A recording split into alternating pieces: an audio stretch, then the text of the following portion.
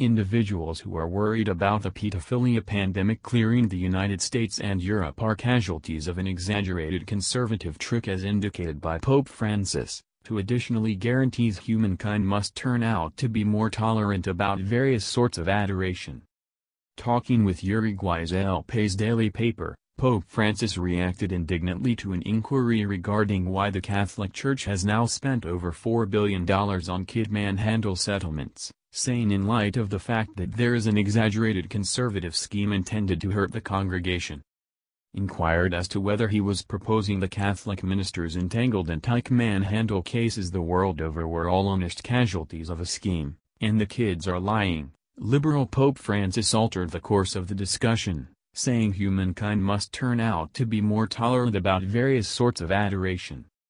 The connection between the pontiff and Uruguay's national daily paper is recently the most recent case of Pope Francis turning biblical lessons on their head. Weeks prior Pope Francis was gotten on radio endeavoring to direct his run far from Jesus Christ, telling audience members that Jesus transformed into Satan.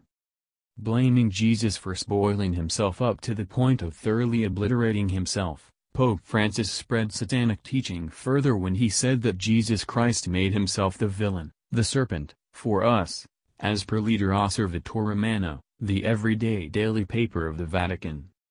Is Pope Francis a false prophet?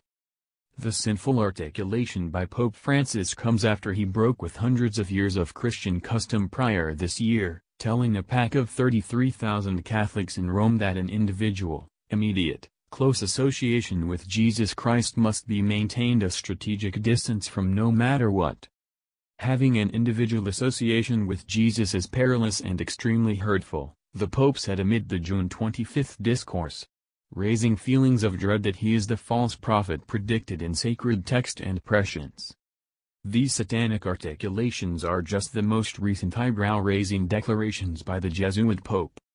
In July Pope Francis told the Italian daily paper La Repubblica that the United States of America has a contorted vision of the world and Americans must be managed by a world government, at the earliest opportunity, for their own particular great. The prior week he additionally required a one-world government and political expert, contending that the formation of the one-world government is expected to battle significant issues, for example, environmental change, Talking with Ecuador's El Universo daily paper, the Pope said that the United Nations doesn't have enough power and should be conceded full administrative control for the benefit of humankind. The globalization development can't be belittled.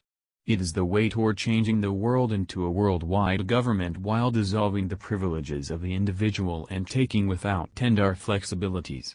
World religious pioneers, drove by the undeniably against Christian Pope Francis, are assuming a main part in this awesome trickery. Pope Francis is resolved to direct his rush far from Jesus Christ. The pontiff who held Islamic supplications in the Vatican, and later cautioned his adherents not to go into an individual association with Jesus, is voracious wolf camouflaged as a white sheep. The Jesuit Pope is a main player in the plot to introduce a new world order, resolved to deceive his run while serving the worldwide intrigue.